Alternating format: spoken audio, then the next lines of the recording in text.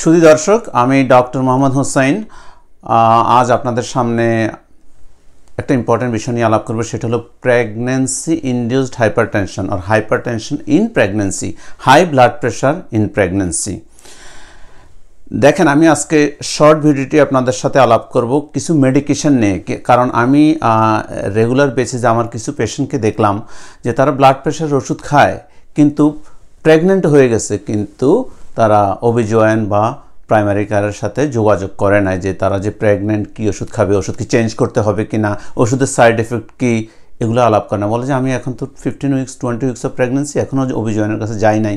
বাংলাদেশ থেকে আসছি কোভিডে আর কারণে কোথাও বের হচ্ছি না। বাট মনে রাখবেন, আপনি যখন প্রেগনেন্ট হচ্ছেন প্রেগনেন্সি ইন্ডিউস হাইপারটেনশনের ওষুধ অথবা প্রেগনেন্সিতে হাইপারটেনশনের ওষুধ খাচ্ছেন, অবশ্যই আপনি ডাক্তারের পরামর্শক্রমে ওষুধটা খাবেন। আদারওয়াইজ আপনার এই ওষুধটা বেবির জন্য মারাত্মক হুমকির সম্মুখীন হতে পারে। সো এখন দেখেন প্রেগনেন্সিতে কি হয়? Pregnancy induced hypertension pregnancy itself hypertension করতে পারে। প্রি অ্যাক্লামশিয়া হতে পারে। প্রি অ্যাক্লামশিয়া মানে আপনার থার্ড ট্রাইমেস্টারে দেখা যাবে যে টোয়েন্টি ফোর উইক্সের পরে দেখা যাবে যে হয়তো আপনার প্রেশার বেশি এগুলো এর সাথে প্রোটিন যাচ্ছে ইউরিনের সাথে প্রোটিন যাচ্ছে। তাহলে প্রি অ্যাক্লামশিয়া হতে পারে। অথবা আপনার আগের থেকেই ব্লাড প্রেশার হাই এখন প্রেগনেন্সিতে আরও হাই হয়ে গেল। এটাকে বলা হয় hyper in pregnancy chronic hyper in pregnancy hypertension in pregnancy induced hypertension and preeclampsia. So different terms আপনার প্রাইমারি আপনার ডাক্তার জানলেই আনা বাট আপনি এতটুকু জানতে হবে যে আপনার প্রেগনেন্সিতে ব্লাড প্রেশারের ওষুধ কি খাবেন কি খাবেন না। কি খাওয়া উচিত? দেখেন সো আপনার যদি ব্লাড প্রেশারের মেশিন থাকে বাসা আপনি অ্যাটলিস্ট চেক করবেন আপনার প্রেশারটা কেমন থাকতেছে সিভিয়ার হাইপারটেনশন কিনা। দুই ধরনের ব্লাড প্রেশার একটা সিস্টোলিক উপরেরটা ডায়াস্টোলিক হচ্ছে নিচেরটা। সিস্টোলিক হার্ট যখন কন্ট্রাক্ট করে ডায়াস্টোলিক হার্ট যখন রিল্যাক্স হয়।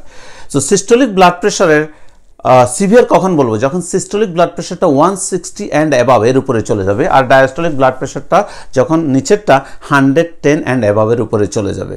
মনে রাখবেন, তখনই আপনার মেডিকেশন অবশ্যই নিতে হবে। কি জন্য নেবেন? টু প্রিভেন্ট সেরিব্রোভাস্কুলার অ্যাক্সিডেন্ট মানে stroke cardiac arrest kidney failure এগুলোকে প্রিভেন্ট করার জন্য ইভেন ডেথ এগুলো প্রিভেন্ট করার জন্য আপনি আপনার মেডিকেশনটা নিতে হবে।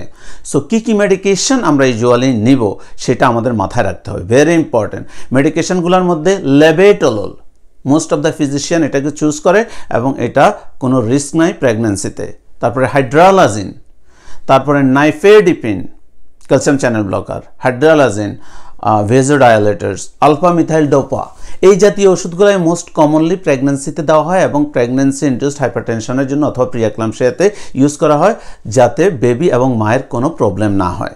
এখন আসেন একটু আগে বললাম যে severe hypertension non severe hypertension কখন বলব? যখন blood pressure more than hundred forty systolic blood pressure hundred forty থেকে হান্ড্রেড সিক্সটির ভিতরে থাকবে আর ডায়াস্টোলিক নিচেরটা কত থাকবে? নাইনটি থেকে হান্ড্রেড টেনের মধ্যে থাকবে। সো নাইনটি থেকে হান্ড্রেড টেন হলো নিচেরটা, উপরেরটা হলো হান্ড্রেড ফর্টি থেকে হান্ড্রেড সিক্সটি। এটাকে বলা হয় নন সিভিয়ার হাইপারটেনশন এই হাইপারটেনশনের সাথে যদি আমার অর্গান কোনো ড্যামেজ না হয় কিডনির কোনো প্রবলেম না হয় আই প্রবলেম না হয়, তাহলে ক্লোজলি মনিটর করতে হবে। আর যদি কোনো অর্গানের উপরে আঘাত আসে, অর্গানের উপরে যেমন প্রোটোনিয়া হচ্ছে, অর্গান ড্যামেজ হচ্ছে, অন্য আইয়ে প্রবলেম হচ্ছে, রেটিনোপ্যাথি হচ্ছে, তখনই যায়া আপনার অবশ্যই ওষুধ শুরু করতে হবে এবং যে ওষুধগুলো আমি একটু আগে বলছি, ওগুলো আপনার প্রাইমারি কেয়ারের সাথে বা আপনার অভিযোগ ডাক্তারের সাথে আলাপ করে অবশ্যই এটা শুরু করবেন। মনে রাখবেন, যখন আপনার ব্লাড প্রেশার হাই হতে থাকবে সিভিয়ার হাইপারটেনশন কন্ট্রোল হচ্ছে না প্রোটিন যাচ্ছে ব্লাড টেস্টে দেখা যাচ্ছে প্লেটলেট কাউন্ট অনেক কমে যাচ্ছে লিভার এনজাইমটা বেড়ে যাচ্ছে। নিউ অনসেট আগে আপনার কখনো ছিল না প্রোটিন হঠাৎ করে প্রোটিন যাচ্ছে। ব্লাড প্রেশার আগে অলওয়েজ কন্ট্রোল ছিল, হঠাৎ করে ব্লাড প্রেশার হাই হয়ে যাচ্ছে। Is call sign of preeclampsia সুতরাং এই জাতীয় প্রবলেম হলে অবশ্যই ডাক্তারের পরামর্শ নেবেন। এটা কাদের বেশি হয়? যাদের হিস্ট্রি অফ হাইপারটেনশন ছিল, যারা ব্ল্যাক রেস এবং যাদের অবিসিটি আছে, ওজন অনেক বেশি।